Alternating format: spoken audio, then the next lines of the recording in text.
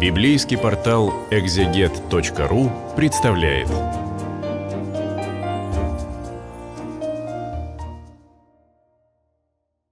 Здравствуйте. Это видео для библейского портала экзегет.ру. И продолжая разговор о книге «Бытия», мы обратимся сейчас к 18 главе. А, в 18 главу попали чрезвычайно важные рассказы, которые, конечно, имеют громадное значение не только для авторов, составителей и целевой аудитории книги «Бытия», но и вообще для, может быть, человечества, для христиан в первую очередь. Это действительно исключительно важные вещи. Э, и в первую очередь обращают на себя внимание тот рассказ о явлении Бога Аврааму, который, с которого, собственно, глава и начинается. В предыдущих главах мы видели Бога, который являлся Аврааму в виде столпа огненного ночью, когда проходил, как пылающий вихрь между половинами жертвенных животных, рассеченных Авраамом при заключении завета. Мы видели иногда там, слова обращения словесные Бога к людям, к Аврааму в частности. И вот здесь удивительным и крайне, я думаю, неожиданным для читателя образом говорится о том, что э, Господь явился Аврааму у Дубравы Мамре э, вот каким образом. Авраам сидит у своего шатра во время зноя дневного. Это жаркий климат, значит, там хорошо что-то делать утром, вечером, а в середине дня такая жара, что надо вот Э, спрятаться в тень. И вот в это время Авраам э, поднимает глаза и видит трех мужей, которые стоят против него. Э, и автор подчеркивает, что, собственно, это и есть явление Господа. Авраам относится к этим троим мужам как действительно к самому Господу, с одной стороны. А с другой стороны, так, как должно было бы быть, как правильно было бы относиться к э, путникам, которые в самый разгар дневного зноя пришли вот к человеку в шатер. И он относится к ним, обращается с ними с максимальным уважением, с максимальным благоговением коммуникативное намерение автора и тем более составителя совершенно не подразумевало намеков на э, троечность Бога. По крайней мере, преднамеренно, без сомнения, нет. А, тем не менее, поскольку все-таки мы с вами имеем дело с боговдохновенным текстом, вот иногда бывает, что какие-то вещи могут, могут оказаться в тексте не потому, что таково коммуникативное намерение автора, а скорее вопреки этому намерению. С другой стороны, дальше мы увидим, что для автора рассказа было важно – что это не один единственный человек, э, через которого или в образе которого Бог является Аврааму. Ну и может быть, можно только предполагать, что в коммуникативное намерение составителя входило попытаться сказать о том, что Бог являющийся Аврааму, далеко превосходит человека. Можно разными способами это делать, но для автора важно, что Бог – это некто, э, кто не вписывается, не помещается э, в одного человека. Никак, ничего подобного быть не может. В этом есть некие отголоски тоже теологических споров и конфликтов предпленной эпохи между там, иудеями и язычниками. И, скорее всего, для автора было важно, что вот Бог является вот каким-то таким удивительным образом, который невозможно описать в виде одного единственного человека, потому что Бог – это некто много больший, да, что не поместится в единственного человека. Ну, конечно, скептические толкователи таких случаях, в этом случае будут говорить, что вообще там Аврааму явилось три человека, а он воспринял это как э, посещение Божье. Ну, это, в общем, такой достаточно э, трусливый, я бы сказал, комментарий был бы. Вот. Да, действительно, за этим преданием стоит некоторая реальность, которая заключается в том, что именно Бог в виде через встречу с этими тремя мужами приходит в шатер Авраама. И опять-таки для автора, скорее всего, принципиально именно то, что Авраам относится к этому явлению со всем возможным почтением, со всем максимальным уважением, благоговением. Он говорит, войдите в шатер, вы с пути, омоют вам ноги, сейчас сделаем хлеб, э, теленка, масло, отдохните и э, поешьте. И отдохните под этим деревом. И вот все это Авраам собирает на стол и ставит перед ними – Авраам не последний человек на территории. Он глава клана с достаточно э, большими стадами, богатый, сильный и прочее, прочее. Ну вот какие-то шли люди, которые даже особенно его и не просят ни о чем. И он проявляет максимальное, максимальное гостеприимство, которое, по-видимому, ну, будь это простым разговором о бытовом сюжете, может быть, было бы чрезмерным. Вот. Для автора очень важно, что Авраам – это вот тот человек, который в состоянии по максимуму отнестись к Богу с уважением. Это действительно его важнейшая особенность. И вот гости Авраама, непостижимые гости, которые сидят у его шатра, э, говорят, что вот один из них говорит, что э, через год я буду у тебя, и у Сары будет сын. В это время Сара э, слушала у входа в шатер сзади его и внутренне рассмеялась. Здесь удивительным образом фокус внимания происходит на, э, перемещается на то, что внутри. Она не смеется в голос. Она э, ухмыляется, так сказать, смеется в душе, внутри себя. И э, удивительным образом, судя по рассказу, здесь вот с 9 по 15 стих, Господь в лице одного из этих трех мужей говорит, нет, ты рассмеялась.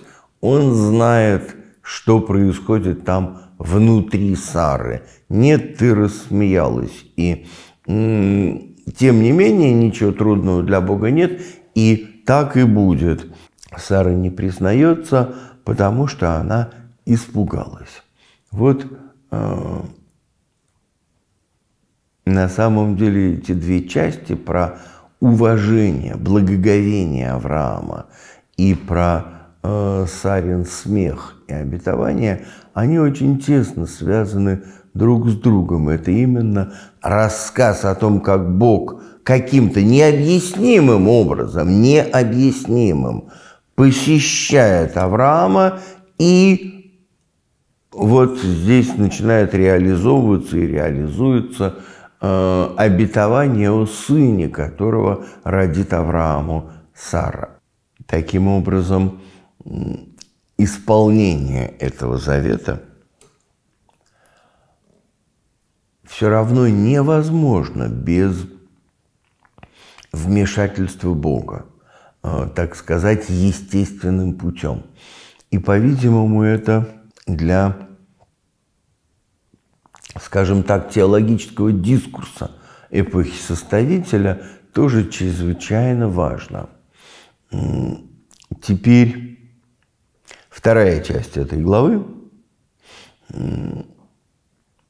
рассказывает, в общем, другую, на самом деле, историю, которая только косвенно и формально связана с первой половиной главы. История э, заключается в том, что те мужи, которые пришли к Аврааму, э, встают и отправляются к Содому и Гаморе. Авраам идет проводить. И вот э, «И сказал Господь, утаю ли я от Авраама, рабам моего, что хочу делать?» Ну, во-первых, это некоторая декларация того, что из себя представляет отношения Бога с Авраамом, что из себя представляет отношения внутри завета. Бог ничего не делает, не открыв рабам своим пророкам. Утаю ли от Авраама раба моего, что хочу делать? Таким образом, хотя Авраам и его потомки, как правило, не призваны к тому, чтобы быть э, руками или прокси-представителями Бога на земле, но тем не менее Бог не утаивает от них, потому что они ему э, не чужие и не враги. Не чужие и не враги. Вот это, э, собственно, основной смысл слов «утаю ли я от Авраама, раба моего, что хочу сделать». А, и дальше автор вкладывает в уста Божьи некое обоснование. Потому что я избрал его для того, чтобы он заповедал сынам своим и дому своему ходить путем Господним, творя правду и суд. Вот, оказывается, дело-то в чем. Авраам избран для того, чтобы научить, заповедовать своим сынам и всем потомкам э, поступать так, как поступает Бог, творя правду и суд, ходить путем Господним. И заметьте тоже, что здесь ходить путем Господним в меньшей степени подразумевает исполнение списка требований которые там Бог тем или иным способом возлагает на людей. Ходить путем Господним означает творить правду и суд, как творит их э, праведный судья Вселенной Бог. Подражать Богу в каком-то смысле, как сказал бы в данном месте э, апостол Павел, если бы он его пересказывал. Вот оказывается смысл завета – научиться поступать подобно тому, как поступает Бог, ходить Его путями. И опять-таки, для составителя это драматически важная мысль, потому что э, составитель в плену или сразу после плена, вероятно, все-таки в плену, слышит вот эти вот недоумения э, своих соплеменников. А что мы такое нарушили? Где списки того, чего мы должны были не нарушить и нарушили? Где об этом был договор?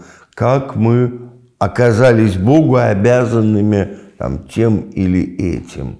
Ну вот, а он отвечает на это, на все, что мы оказались обязанными Богу, потому что мы все рождены от Авраама, во-первых, а во-вторых, мы видели Бога, творящего правду и суд. Вот этому следовало подражать. для его времени, для времени составителя и для последующих столетий это просто революционная на самом деле мысль. Революционная, что дело не в мелочном, но последовательном и подробном исполнении э, кучи предписаний 600 там, с лишним заповедей, а в подражании Богу, творящему правду и суд.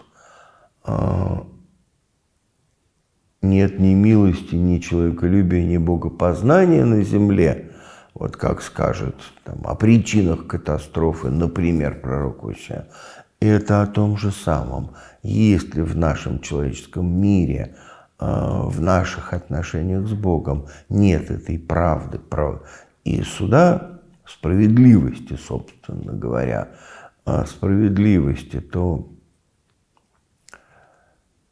даже формально завет невозможно считать актуальным. Теперь э, Господь говорит о том, что вот я иду в Содом, потому что вопль содомский и гоморский велик он, и грех их тяжел он весьма. Вопль содомский и гоморский. То ли от жертв, ну, скорее всего, от жертв э, преступлений Содомлян и жителей Гаморры, то ли вообще, как э, помните, в четвертой главе Бог говорит Каину, голос крови брата твоего выпьет ко мне от земли. Вот вопль из этого мира, от земли, э, которая принимает человеческую кровь, от жертв, человеческого насилия и злобы к Богу исходит нечто, что называют здесь воплем. Крик страдания, который Бог слышит. И э, дальше в книге Исхода э, отправной точкой разговора, собственно, будет, будут слова Бога о том, что я услышал вопль народа моего в Египте. Вопль здесь, э, вопль Содомский и Гоморский – именно от жертв насилия, которые совершают садомляне. И дальше говорится, сойду и посмотрю, точно ли они поступают так, каков вопль на них. Это, конечно, художественный образ. Ну, трудно представить себе Бога, который там сходит и смотрит – что там происходит в Содоме, он в конце концов видит сам. Но автору важно показать, а, что Бог не ограничивается слушанием слов, а, и Бог не подчинится навету, не будет следовать ему, не примет его. Бог слышит вопль, но убеждается сам, как бы собственными глазами. Очень антропоморфный образ, конечно. Но тем не менее, вот разговор идет о том, что Бог непосредственно в такие вещи вмешивается, не ограничивается, так сказать, э, свидетельствами из третьих рук. И заключительная часть 18 главы – один из самых красочных и, если хотите, эмоциональных, заряженных таких рассказов из всей серии рассказов об Аврааме. Потому что вот Бог идет в Содом и Гоморру проверить, что там такое за вопль, э, поднимается к небу от этой местности, от того, что люди в ней творят.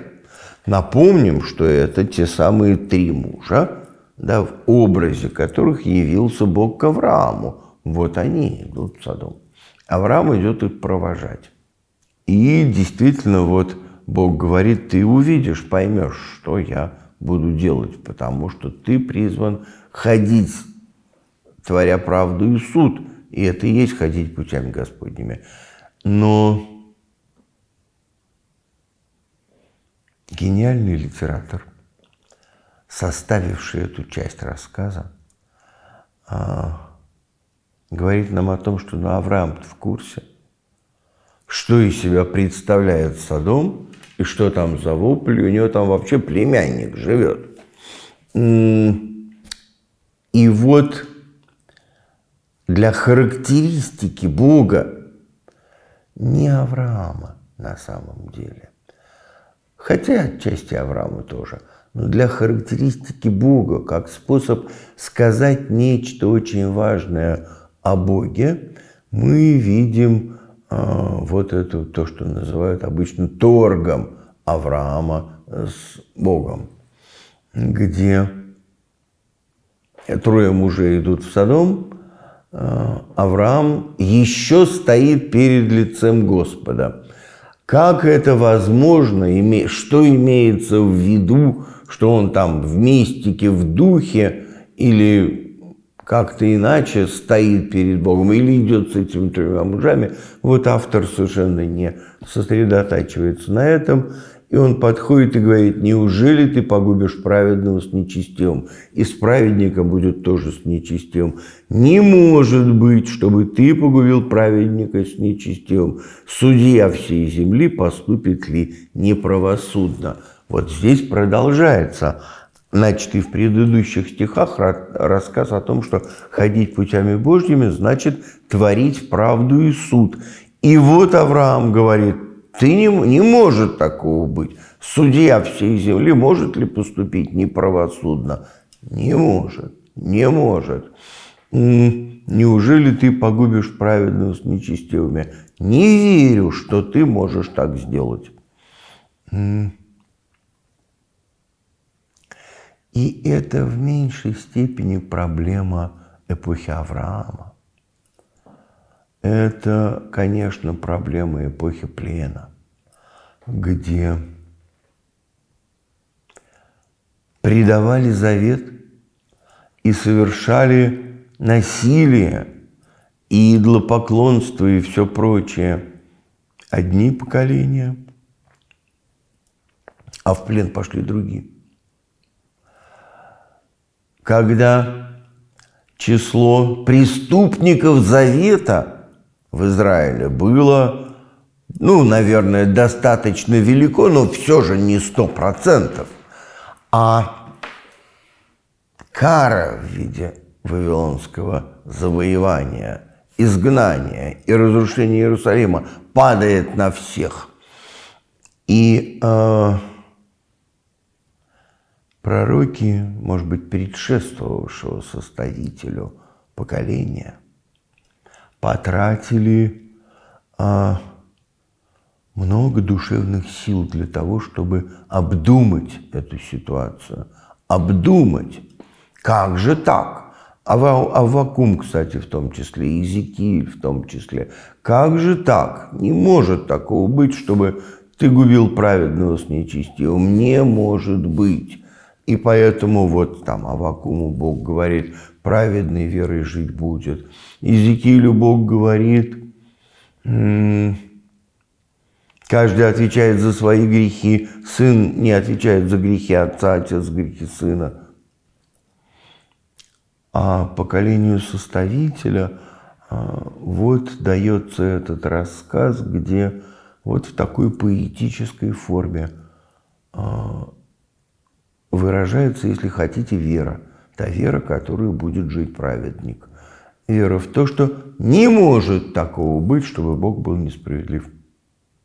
И если мы видим вот эту тотальную катастрофичность, где грехи одних людей становятся э, причиной страдания и гибели огромного количества, может быть, даже всех, вот эта необъяснимая картина, которая не, не умещается в сознании, которую непонятно, как Бог может исправить да, эту ненормальную картину.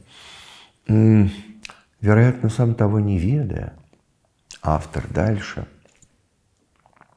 говорит именно об исправлении а, вот этой несправедливости. Потому что, да, и автор, и составитель, и читатель, а, по-видимому, согласны в том, что если нашлось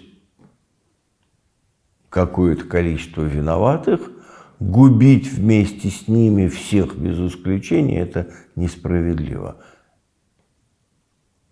Но, понимая это, составитель, в общем, не очень видит решение этой проблемы. Что-то видеть в этом смысле начнут следующее поколение после составителя. Здесь же говорится о том, что вот судья всей земли поступит ли неправедно. Э, и Господь говорит, ну хорошо, э, вот Авраам спрашивает его, вдруг ты найдешь в этом городе 50 праведников. Будет несправедливо погубить всех, если там э, окажется, там, не знаю, 950 порядочных, э, наоборот, грешников и 50 праведников. Или там 10 тысяч. Ну, неважно сколько. На самом деле, конечно, Содом никак не мог быть большим городом. И Господь говорит Аврааму, да, если я найду 50 праведников, пощажу город. А здесь ведь несправедливость наоборот, в другую сторону – Потому что, ну, город-то грешников, и содомление ужасно. Решение погубить весь город отменяется тем, что есть 50 праведников. Но решение вообще не губить город из-за того, что есть 50 праведников, тоже несправедливо. Надо же, э, чтобы справедливое возмездие пала на головы содомлян, ну, по крайней мере, в той поэтической парадигме, в которой рассуждают авторы-составители.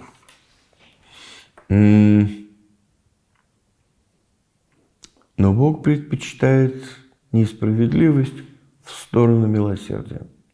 Милость превозносится над судом, который, как потом будет сказано. Вот видите, Э, Авраам говорит, ну хорошо, ладно, 50 праведников, замечательно.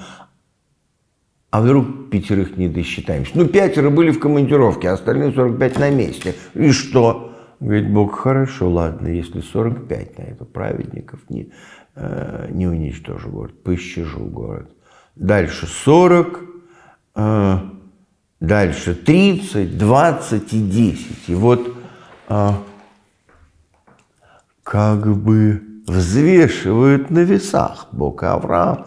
А если 40 окажется праведников, пощажу.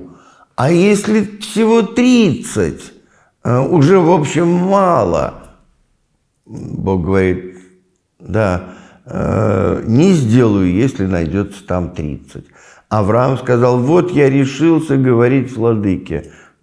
Он каждый раз, он говорит, извините, владыка, Э, Господь, что я по-прежнему вмешиваюсь. Ну, на самом деле, конечно, это вот колоритная сцена в костюмах из Хаджина Средина на Восточном базаре. Вот так это описывает, ну, хочется читать с акцентом, так это описывает автор.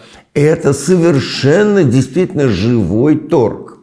Обратите тоже внимание, что Авраам здесь совершенно не корчит из себя а, что-то такое сахар-медовичное, а, сопливо-елейное. Это живой человек с горячим сердцем. Вовсе он не изображает какого-то там, прости господи, а, благочестивца, как это любят делать христиане. Нет. Он говорит о 20 а три, а десять. И мы видим, так сказать, можем продолжить прогрессию, ряд. Потому что 50 пощажу, 45 пощажу, 30 не уничтожу, 20 ладно, не стану умножать, уничтожать, 10 и 10. Найду там 10 праведников, не уничтожу. А дальше разговор обрывается. И пошел Господь, перестав говорить с Авраамом. Ну, во-первых, кстати, заметьте, что э, в парадигме автора мысль действительно прямо выраженная, что ну хоть сколько-нибудь праведников, если найдется, они э, придадут смысл существованию. Ради них можно не погубить город. Как сразу вспоминается, конечно, русская поговорка «не стоит село без праведника, а город без святого». Вот таки да, да. И судьба этих всех людей, Содомлян, она на самом деле зависит от того, найдется там 10 праведников или нет. И правильно было бы задуматься, вот какую жизнь мы создаем, что мы делаем вокруг себя. Да, и найдет ли Господь 10 праведников среди нас, в нашем обществе. 10 праведников, за которых можно было бы пощадить нас. Не банальный вопрос. А, но гораздо важнее, конечно, вот что. В этом ряду 50, 45, 40, 30, 20, 10 должен быть следующий пункт. Должен быть задан Авраамом вопрос, а если там найдется хоть один? Вот хоть один праведник. И кто этот один праведник? Автор – оставляет вопрос подвешенным, не дает на него ответа. И это, кстати, тоже выдает в нем гениального литератора. Вот так закрутить,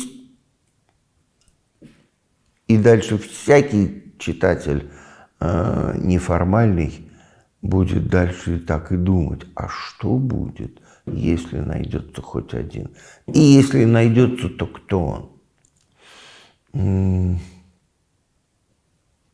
в эпоху составителя, ну или, может быть, в предыдущем поколении, а, через пророка Иезекииля, Бог задает некий вопрос. Пророк видит стену Иерусалима проломленную. И вот Бог говорит, кто станет передо мной в проломе за землю сию?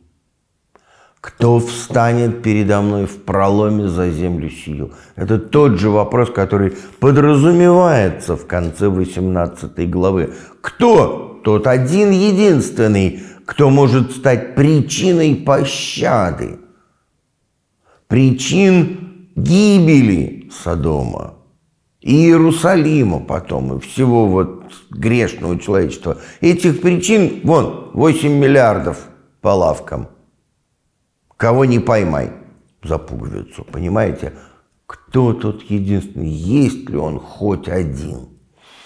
Здесь автор э, и составитель вообще прекращают разговор, потому что они не хотят обсуждать эту тему, не видят этой возможности. Изикиилю Бог говорит больше – и говорит, даже если придут Ной, на землю три великих праведника, Ной, Даниил и Иов. Это задолго до написания книги Даниила и задолго до написания книги Иова. Вот Ной, Даниил и Иов. Даже они своей праведностью не спасут никого, кроме самих себя. Кто?